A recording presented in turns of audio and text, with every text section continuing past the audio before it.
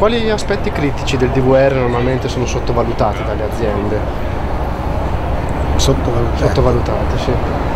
Ma eh, devo dire che qui ecco, il discorso può essere duplice. Da una parte ci sono rischi come dire, tradizionali, rischi sulle macchine, rischi nei cantieri, quindi qui la trascuratezza è ancora più grave.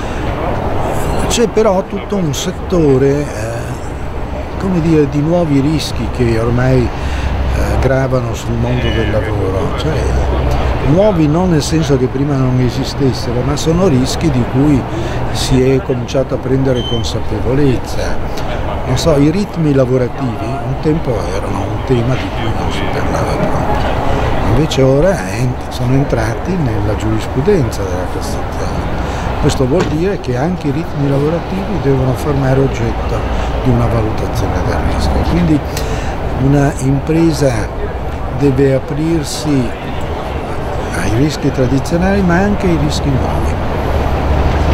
E quali sono le conseguenze di un DVR incompleto o non aggiornato? Ma le conseguenze derivano dal fatto che l'obbligo di valutazione del rischio è un obbligo indelegabile del datore di lavoro.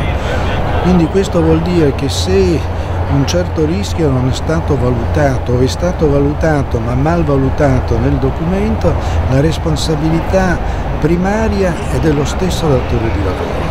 E questo fa capire perché il mestiere di datore di lavoro è un mestiere difficile e non è molto gradito. C'è un settore in particolare in cui eh, le aziende si trovano più spesso eh, DVR non aggiornati? Beh, ehm, devo dire che uno potrebbe pensare ma sono più le piccole e medie aziende, ma invece non è così, anche la grande azienda purtroppo incorre nella sottovalutazione dei rischi. Eh, cioè, qui occorre davvero una mm, maggiore diffusione della cultura sui rischi lavorativi e questo è un po' un difetto, anche perché probabilmente individuare un rischio vuol dire anche individuare le misure di prevenzione contro quel rischio e questo vuol dire anche costi della prevenzione. E lei che cosa si aspetta di trovare in un DVR aggiornato?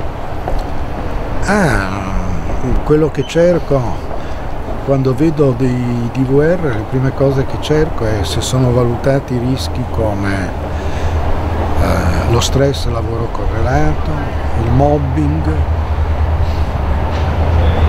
l'alcol e la droga, insomma tutta quella serie di rischi a cui un tempo non si faceva mai eh, riferimento e come si pensa di affrontare ad esempio uno dei problemi più importanti di organizzazione aziendale che è quello della sicurezza dei lavoratori che vengono distaccati presso altre aziende. Un capitolo dedicato a questo spesso non lo trovo.